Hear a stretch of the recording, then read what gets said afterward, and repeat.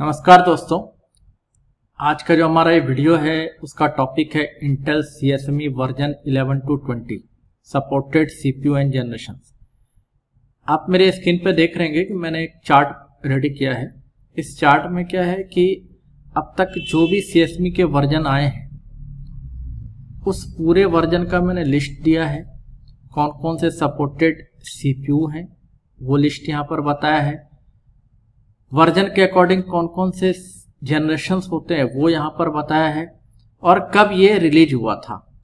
Generally क्या होता है कि हमारा जो इंटेल बायोस होता है, उसमें एक पोर्शन होता है एमई रीजन का। तो यहाँ पर जो डिस्कशन मैं कर रहा हूँ, वो क्या कर रहा हूँ? वर्जन 11 से, जो कि हमारा सी एस एम वर्जन होता है। जनरली क्या होता था? सी वर्जन ये आप देख सकते हैं कब रिलीज़ हुआ है? 2015-16 में रिलीज़ हुआ। और यह जनरेशन क्या था आपका? सिक्स से सेवन जनरेशन जब स्टार्ट हुआ था। मतलब हमारा प्रोसेसर क्या था? एस्काइलेक और केबीलेक है ना? तो सी एस वर्जन 11 जो है, वो एस्काइलेक और केबीलेक दोनों के लिए है। मतलब सिक्स और सेवन जनरेशन और इससे पहले जो फैमिली हुआ करती थी सी एस से पहले होती थी एम फैमिली और एमई फैमिली में क्या होता था? आप ये कह सकते हो फ़र्स्ट जनरेशन से लेकर के आपका फिफ्थ जनरेशन तक आ जाता था। तो उस हिसाब से जैसे कि वर्जन टेन हो गया, ये आपका फिफ्थ जनरेशन का हो जाता था। वर्जन नाइन हो गया, ये फोर्थ जनरेशन का था। वर्जन एट थर्ड जनरेशन है ना? इस हिसाब से ये जनरेशन चलता है। और इसकी शुरुआत हम कहाँ से कर रहे हैं फ़िलहाल? ये वर्जन सिक्स हो गया आपका फ़र्स्ट जनरेशन तो ये एमई फैमिली थी। एमई फैमिली उसके अलावा एक आया C S M family correct इसके अलावा आपने देखा एक टी भी आता है और एक आता है सी एस टी एक्स मतलब कुल मिला के इंटेल बायोस का जो मैनेजमेंट फर्म इंजन है, जो फर्मवेयर है, उसमें टोटल कितने फैमिली आते हैं? टोटल चार फैमिली आते हैं। तो जिसमें आपका, ये प्रोसेसर आपने नाम सुने होंगे कोर आई थ्री का प्रोसेसर कोर आई फाइव का प्रोसेसर कोर आई सेवन का प्रोसेसर तो जब से ये प्रोसेसर स्टार्ट हुए ना, तब से हमारा क्या हो गया? ये हमने यहाँ पर एम e का वर्जन सिक्स स्टार्ट किया। मतलब कोर आई थ्री जब आया था फ़र्स्ट टाइम जब कोर आई थ्री आया, और उस प्रोसेसर को क्या बोला गया? जो पहला पहला बार आया था आई थिंक 2010 में आया था आपका, सबसे पहला कोर आई सीरीज़ का प्रोसेसर उसको बोला गया फ़र्स्ट जनरेशन उसके बाद क्या हुआ? हर ईयर में आप देख रहे हैं, आपका वही प्रोसेसर है, बस क्या हो गया? जनरेशन आपका चेंज होता जा रहा है। मतलब कोराई थ्री यहाँ पर भी है, कोराई थ्री आपका यहाँ पर भी है। अगर हम बोले कोराई थ्री यहाँ पर भी है एक तरह से, है ना? नाइन, वर्जन 18 में भी मिल सकता है आपको 19 में भी मिल सकता है। तो है तो वही आई थ्री प्रोसेसर ही। बस एवरी ईयर क्या हुआ? कुछ ना कुछ रिफ्रेश के साथ, कुछ ना कुछ अपडेट्स के साथ, कुछ ना कुछ आर्किटेक्चर में चेंजेस करके उसको अलग अलग जनरेशन का नाम दे दिया गया, जो कि हम यहाँ पर देख रहे हैं। तो जब हम बायोस एडिट करते हैं तो अक्सर हम क्लीन एम भी करते हैं। तो क्लीन एम में हम इसका डिस्कशन नहीं करेंगे, ये हो गया ओल्ड मॉडल, है ना? यहाँ पर आप देखो सी वर्जन 11 से मैंने पूरा का पूरा चार्ट बनाया हुआ है। ऑलरेडी हम प्रैक्टिकली किस तरह क्लीन एम वगैरह करना है, वो तो जानते ही हैं। लेकिन कई बार क्या होता है कि कुछ एक्स्ट्रा नॉलेज हो जाए तो उससे क्या नुकसान है? जैसे कि अगर आप देखो वर्जन 11 वर्जन 11 है 12 13 14 15 16 अब आप देखो यहाँ पे, वर्जन 17 आपको कभी नहीं मिलने वाला। आपको सीधा क्या है, वर्जन 16 सीएसमी का वर्जन 16 के बाद डायरेक्ट वर्जन 18 मिलेगा। कारण क्या है? तो कारण क्या है? तो भाई ये मुझे भी नहीं पता, कारण क्या ये आज तक पब्लिक ही नहीं हुआ। है ना? अनडिफाइन है। अब बोलेंगे ये कौन से जनरेशन को सपोर्ट करता है, वर्जन 17 तो ये भाई पता ही नहीं किसी को अनडिफाइंड कर रखा है। है ना? कब रिलीज़ हुआ, ये भी नहीं पता। वो होती है ना, कोई मूवी तो बन जाती है बट उसको रिलीज़ नहीं किया जाता। तो उसी तरह हुआ वर्जन 17 के साथ। इंटेल ने अपने इंटरनल पर्पज के लिए कब वर्जन 17 को बनाया और कब इसको बंद कर दिया, कुछ पता नहीं। तो वर्जन 17 का आपको कभी भी बायोस नहीं मिलेगा। वर्जन 16 मिलेगा और वर्जन 16 के बाद डायरेक्ट आपको वर्जन 18 मिलने वाला है। और यहाँ पर यहाँ पर एक जनरेशन का भी मैं आपको यहाँ पर बता रहा हूँ, जैसे कि हमारा स्काईलेक है, ये आपका सिक्स जनरेशन में आ जाता है केबी लेक हमारा सेवन जनरेशन में आ जाता है। फिर जब वर्जन ट्वेल्व आया, मैंने यहाँ पर रिलीज़ ईयर भी बता रखा है 2017-18 के आसपास वर्जन 12 आया तो ये कॉफ़ी लेक आया था।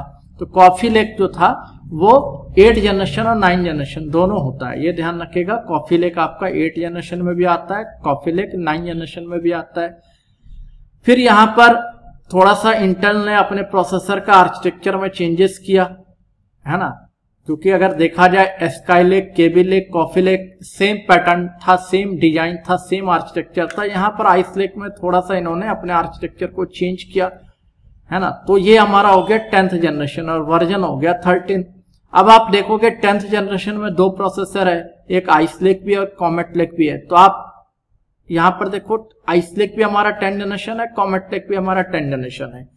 तो कॉमेट लेक बहुत हद तक आपका जो इसका डिज़ाइन है मैच किससे करता है? इन सबसे। Coffee Lake Skylake Comet Lake इससे डिज़ाइन मैच करता है।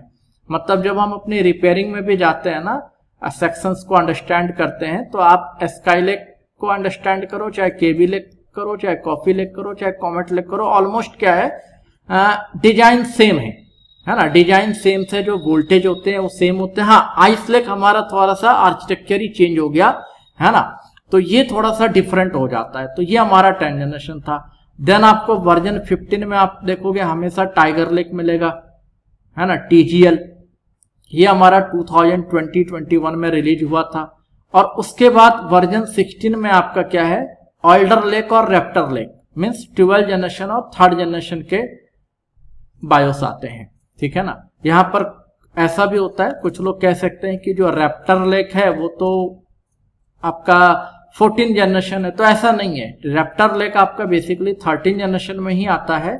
हाँ ये होता है कि कि कुछ रेप्टर लेक में क्या हुआ एक्स्ट्रा कुछ अलग से डिज़ाइन करके, अलग से डिज़ाइन क्या? मतलब ये समझ सकते हो कि हल्का सा रिफ्रेश रेट बढ़ा दिया क्लॉकिंग बढ़ा दी तो फिर वो two thousand twenty three twenty four के बीच में आया तो उसको फोर्टीन जनरेशन भी मान लिया जाता है है ना? तो मैं इससे इनकार नहीं करूँगा कि रेप्टर लेक के कुछ मॉडल 14 जनरेशन में भी होते हैं अदरवाइज़ रेप्टर लेक जो है मेनली आपका 13 जनरेशन का प्रोसेसर है है ना?